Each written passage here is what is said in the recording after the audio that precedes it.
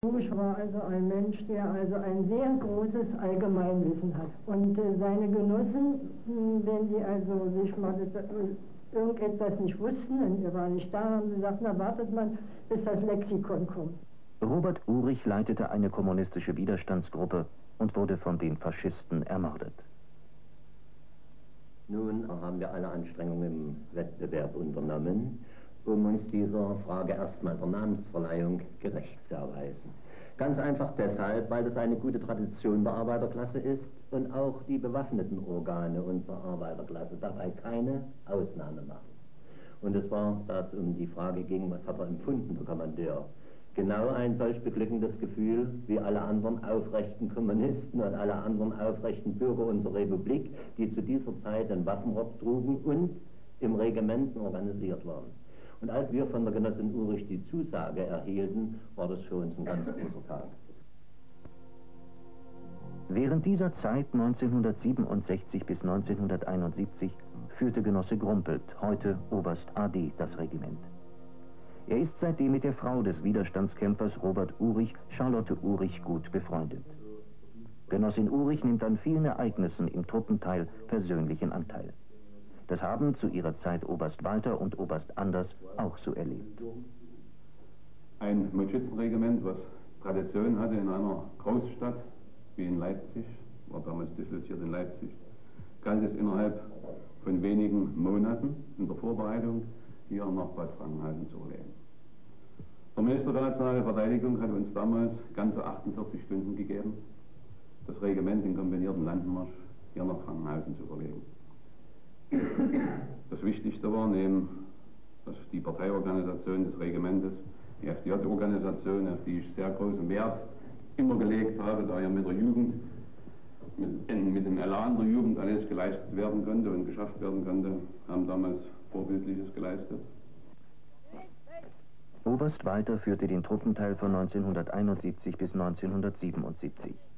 Die Verlegung des Regimentes in den neuen Standort war ein Umzug in eine völlig neue Garnison. Bürgermeister und Partei, als auch der Rat des Kreises, geben uns jede Unterstützung und helfen uns dort, wo sie können, um unsere Lebensbedingungen und vor allen Dingen, um uns so schnell wie möglich heimisch zu fühlen hier. Dieser Kreis hat noch nie eine internationalen Volksarmee gehabt. Wir haben also sehr enge Verbindungen aufgenommen äh, mit den Kreisen der GSD. Wir haben mit den Kampfgruppen sehr enge Verbindungen. In diesem Kreis gibt es eine hervorragende Zusammenarbeit mit den Partei- und Staatsorganen. Und wir als Regiment sagen schon, wir sind das Aderne bzw. das Frankenhauser Regiment.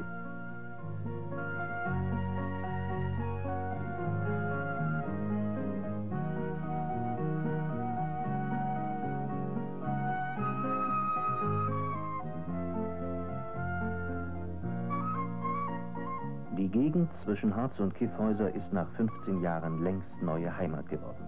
Die Beziehungen zum Territorium sind umfangreich. Es gibt partnerschaftliche Verbindungen zu 30 Schulen und 25 Betrieben. Zur Gedenkstätte der frühbürgerlichen Revolution in Deutschland besteht ein besonderer Kontakt. Am Monumentalgemälde von Professor Tübke haben auch die Frankenhausener Soldaten einen kleinen Anteil. 90 Mann halfen beim Installieren der Leinwand. Heute ist die Geburtstagsgesellschaft bei einer Führung mit Professor Tübke zu Gast. Die Schlacht findet also hier statt. Das Kernstück wird drüben sein, hier, von dort bis drüben. Äh, Schlacht bei, äh, also hier oben auf dem Berg Frankenhausen. Schlachtberg, ja. Äh, und äh, wir sind seit drei Jahren hier oben beschäftigt, die kleine Fassung unten. Die 12-Meter-Fassung, die habe ich innerhalb von drei Jahren gemalt und bin jetzt äh, etwas mehr als drei Jahre hier oben. Oben links angefangen, hinterm Gerüst, äh, im August 83. Wir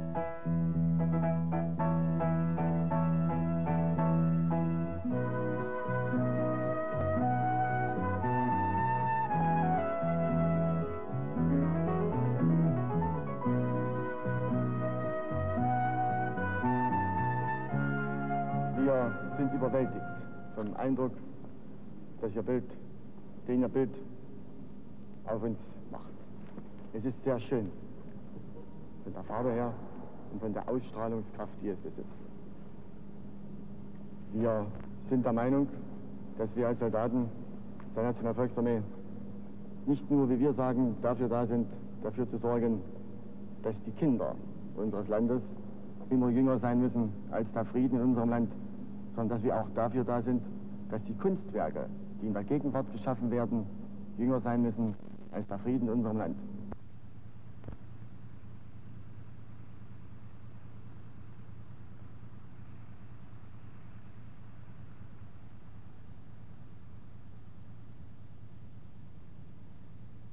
Jürgen Hartmann ist jetzt seit 72 Stunden ohne Schlaf. Die Inspektion fordert ihn, seinen Stab, seine Einheiten ganz. Keine Schonung dafür, dass der Frieden immer älter werde in unserem Land. Regimenter wie dieses haben ihn alt werden lassen, wie noch nie in dem Jahrhundert. Kommandeurs- und Soldatengenerationen haben diese Erfolge miterrungen, hauptsächlich in zäher Kleinarbeit. Erfolge müssen organisiert werden. Kommandeure wissen, was das heißt. Sind schon da.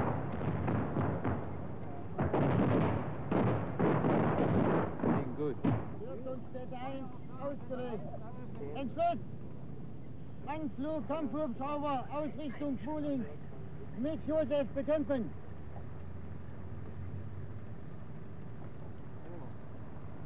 Ablauf. Beziehen Sie Entfaltungsabschnitt Nummer 1. Dieser Oberstleutnant Aufklärungsmeldung 10 Uhr 29. Gegner versucht in Kompaniestützpunkten Panzer und SBZ der ersten Staffel zu verstärken.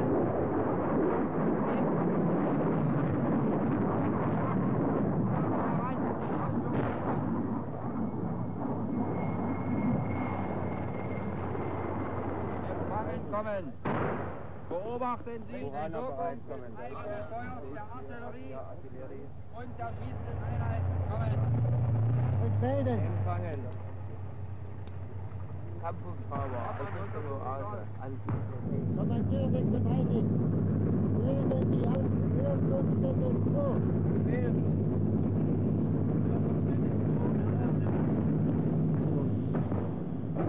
Die B-Stellen Bereitschaft herstellen zur Verlegung. Verlege beginnt circa 11.10 Uhr.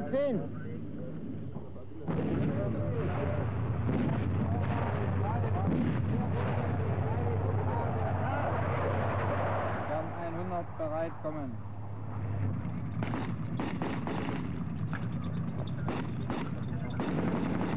Das ist Oberstleutnant.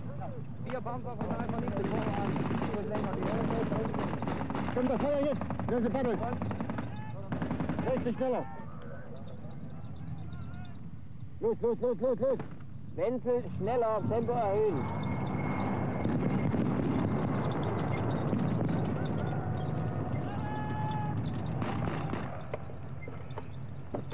Stehen bereit. Jawohl.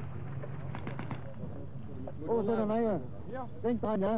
Fünf nach elf etwa verlegen.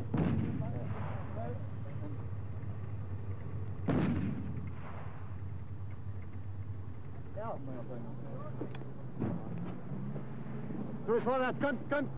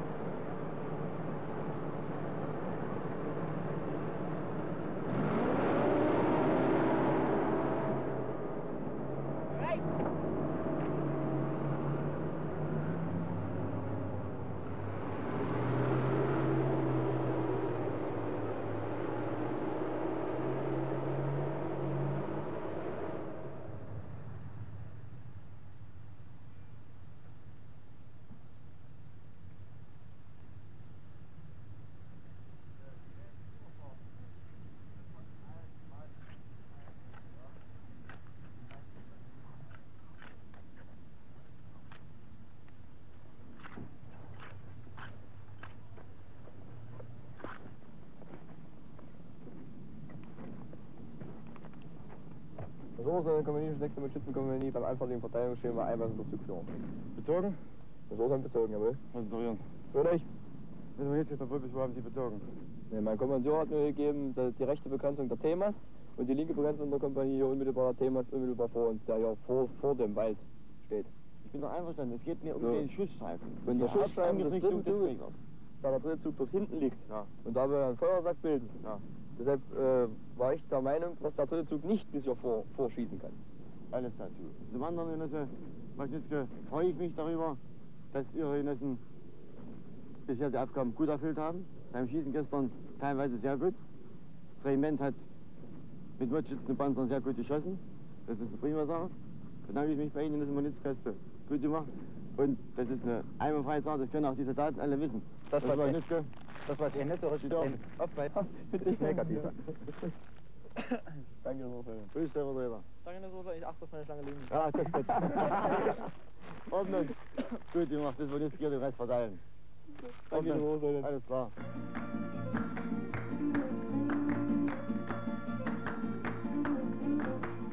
Doch trotz allem zählt für uns das Maß.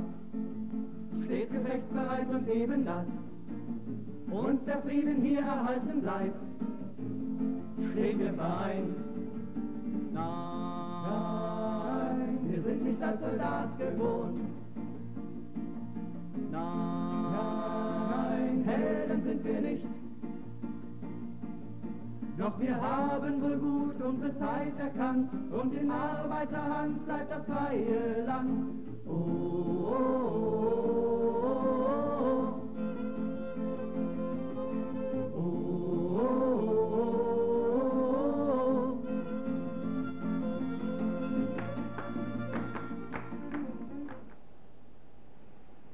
Ich möchte sagen, dass äh, gerade das Zusammensein in diesem Regiment, ja, wo so gut wie alle Kommandeure sind und auch viele Generationen hier versammelt sind, für mich äh, sehr ergreifend ist und äh, glückliche Stunden waren.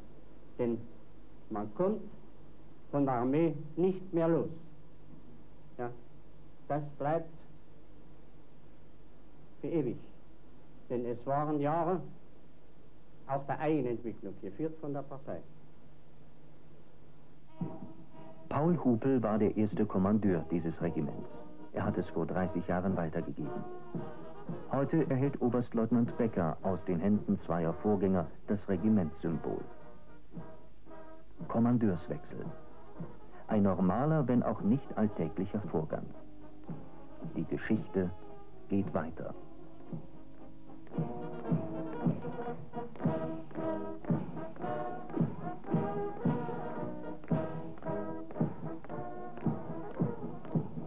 Oberst, das Schutzregiment hat unter meiner Führung sich durch die Partei und unsere stark gestellten Aufgaben erfüllt.